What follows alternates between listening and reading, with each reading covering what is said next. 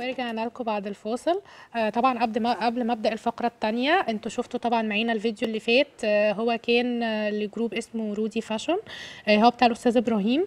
آه أنا عايزة أقول لكم إن ال group ده حلو جدا. الخامة بتاعته يا جماعة هو طبعا قايلين إن أنا اعمل له اعلان الخامة بتاعته آه قطن pure تلبيساته مرتاحة. الأسعار بيقول عنده أي خصم لأي حد بيكون طبعا تجار الجملة للموزعين. عنده اسدالات وعنده ترنجات وعنده ملابس خروج بناتي حاجات كده صغنطوطة حلوة. آه، والخامات ما بتكشش وده أهم حاجة ولا بتوبر. آي سي مستورد. آه، ولحد 120 كيلو ده الأهم طبعا. وفي شحن طبعا وتوصيل لحد باب البيت. آه، فيا جماعة خامته كويسة جدا. تاني حاجة بقى. عندنا دلوقتي بقى آه، فقرة آه، هي حاجة جديدة كده معانا في البرنامج آه، هو معانا YouTuber هو طبعا هو هيعرفكم بنفسه يقول لكم هو بادئ في المجال ده بقاله قد إيه وهو طبعا هنتكلم عن المنظفات والمستحضرات بتاعتها وكل حاجة. لأن طبعا في الفترة الأخيرة أنتوا عارفين إن كان طبعا منتشر جدا موضوع فتح اللي هي المشروعات بتاعة المنظفات. فحابين طبعا نسأله ونعرف كل الأسباب وكل الحاجات اللي بتخلي الناس دي تتجه للمشاريع دي. فمعانا النهارده في الاستوديو أستاذ محمود. نورتنا. نورتنا أستاذ محمود. وشرفتنا. يلا بقى بداية كده قبل ما نبتدي في اي حاجة عايزاك بقى تعرف الناس بنفسك. اتفضل. أنا محمود عبد الوكيل فتحي أساسا من الصعيد. وافتخر. شفت أنا النهارده حلقتنا كلها سعيدة. الصعيد أجدع ناس وافتخر طبعا. ومش هعلق أكتر من كده. بس أنا من محافظة سوهاج مركز طب محافظة سوهاج. آه، أنا أساسا خريج آه، آداب آثار ليسانس آداب آثار آه، جامعة سوهاج. اشتغلت في مجال المنظفات ده من خمس سنين. قبل كده كنت اشتغلت طبعا حضرتك عارفة بعد آه، الثورة ما كانش فيه فرصة كبيرة للشغل في مجال السياحة. ال- السياحة طبعا كلنا عارفين في مشاكل بعد الثورة. فما كانش فيه فرصة شغل فيها. فاشتغلت فترة بعد الثورة في مجال العقارات. وبعد كده اشتغلت في مجال المنظفات تقريبا من 2015 ان شاء الله. وحبيت المجال ده. المجال ده فيه جديد ومجال كويس ومجال ممتع. واللي بيشتغل في المجال ده ما بيملش منه. فأنا حبيت الشغل في مجال المنظفات ده. طيب هو طبعا آه، قبل أي حاجة هو أهم حاجة الواحد يعمل حاجة بيحبها عشان كده بتخليه يتقدم أكتر ويكافح أكتر ويعملها أكتر يعني بذمة كده وإخلاص. فما دام أنت لقيت نفسك فيها فأكيد دي أكيد حاجة طبعا. كويسة. أكيد أكيد. طيب أنت إيه بقى سبب أصلا اختيارك للمجال ده بالذات أو المشروع ده؟ والله هو مجال المنظفات لما لما كنا فاتحين عقارات أنا واحد صاحبي فكان هو شغال في آه، إحدى شركات مندوب في مجال المنظفات فهو كانت عنده فكرة عنها. فهو اللي شجعنا إن إحنا نخش في المجال ده. دخلنا في مجال المنظفات الأول كتوزيع جملة. بعد كده جت الفكرة إن أنا إيه أفتح مكان اللي هو إيه لكل الناس بدل التوزيع يبقى مكان ثابت لكل الناس. فتحت محل واشتغلت على نفسي فيه واتعلمت من الناس القدام اللي في المجال وخدت أفكار ودخلت على اليوتيوب وحبيت أتعلم التصنيع إزاي واتعلمت حتى لما جيت لما اتعلمت من الناس دي لما الحاجة اللي أنا اتعلمتها لما لاحظت إن في جروبات للمنظفات والكلام ده كله الناس اللي حابة تصنع مش عارفة تصنع فبتغلط في التصنيع فبتخسر بسبب إن هي الغلط في التصنيع ده.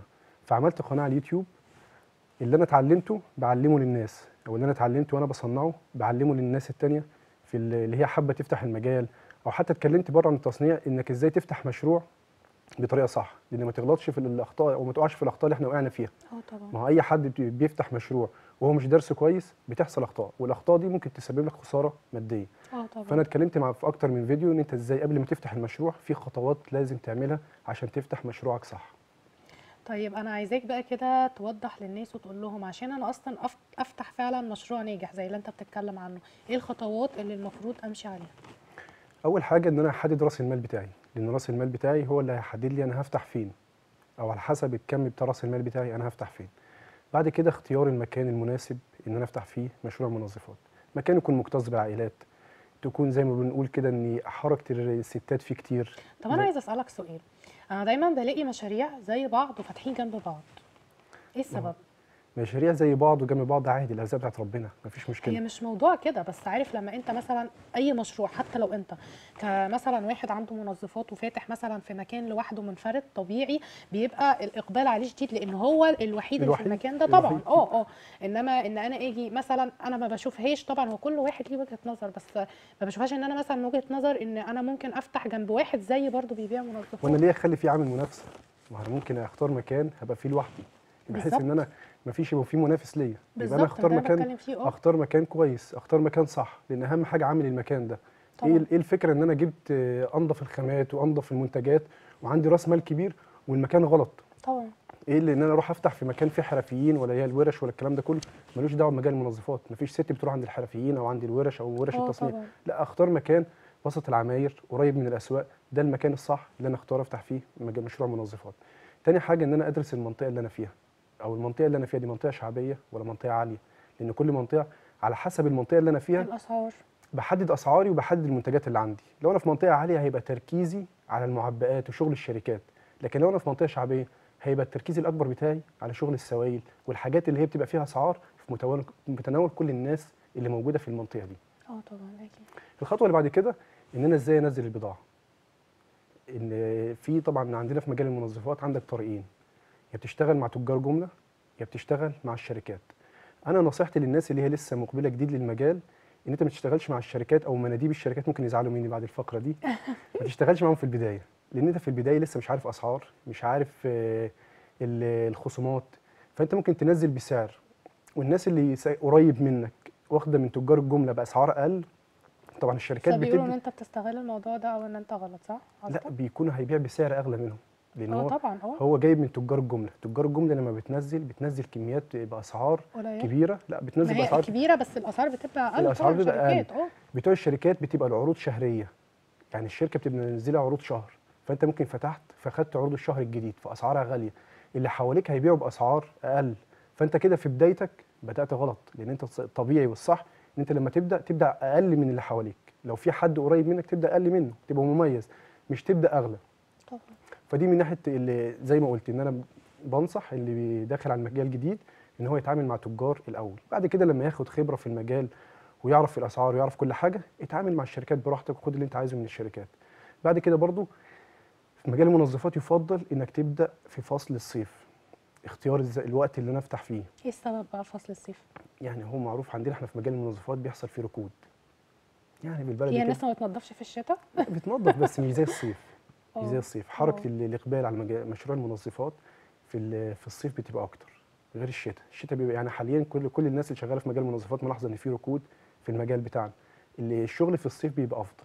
فأنت لما تفتح مشروعك بدل ما بتخليه في الشتاء وهتواجه بقى اللي أنت تبقى في الركود ده في بدايتك لأ افتح في أول الصيف أو في موسم الصيف عموما. هتبقى حركة الشغل أفضل. وطبعا في في فترات موسمية زي الأعياد والكلام ده كله. أفضل توقيت تفتح فيه. آه طبعا. بس.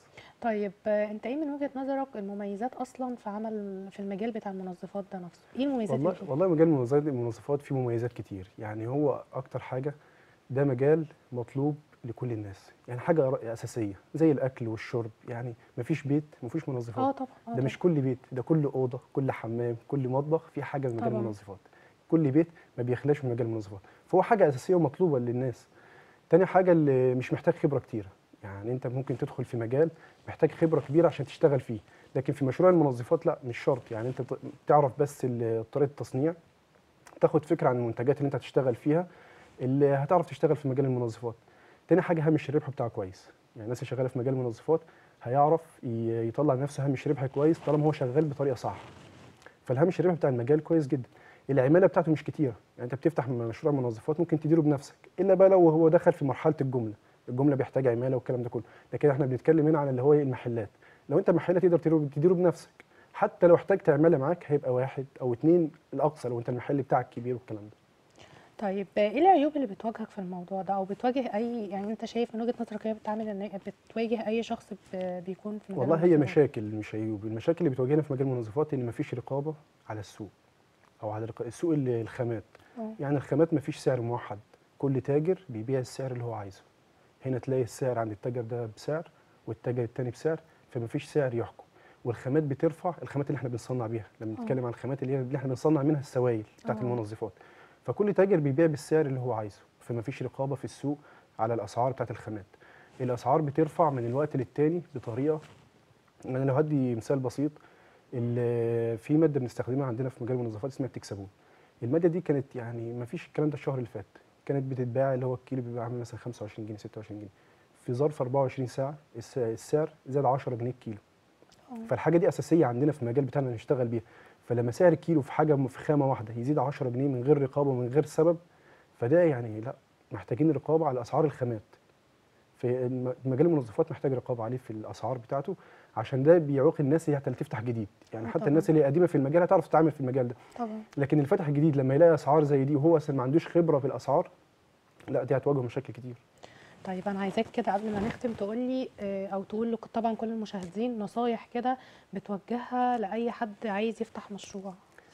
أول حاجة إن أنت تاخد آه، فكرة عن المجال الأول قبل ما تفتح. تدخل وتتعلم التصنيع.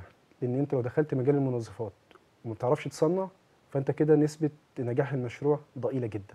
لازم تتعلم التصنيع تصنع بنفسك في محلك تتعلم إزاي طريقة عرض البضاعة بتاعت المحل بتاعك آه، تتعلم إزاي تنزل البضاعة يعني إزاي تعرضها وإزاي تنزلها وإزاي تشتريها.